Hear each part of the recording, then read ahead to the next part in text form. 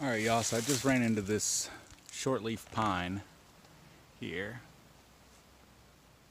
This is a fairly rare tree nowadays because uh, it needs fire in order to be able to reproduce.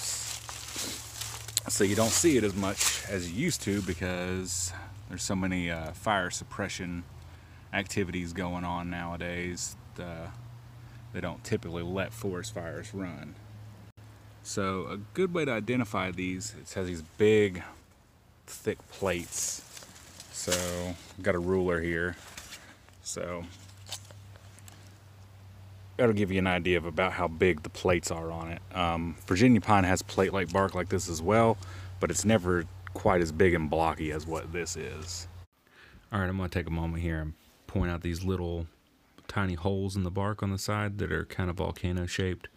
That's another um, characteristic that's a good way to identify a shortleaf pine. Those are actually called resin pockets, and it is something you're going to see on every shortleaf pine. Um, and if you look at the the bark from the sides, it it reminds me like if you uh, if you tossed a book in the fire and let the edges get all burn up, kind of kind of looks like that. It's all kinds of uh, paper thin layers that kind of look like burnt edges of like a book or something.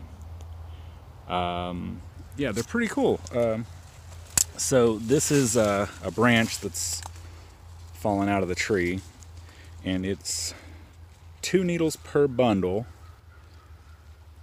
Typically, I think maybe it can have three on some instances. Um, but the needles are relatively straight, whereas Virginia pine, uh, the needles will look twisted, like you were to grab them at the end and just kind of twist them a half turn. Um, that would be a Virginia pine. But it's a big, mature, shortleaf pine here, so kind of a neat find.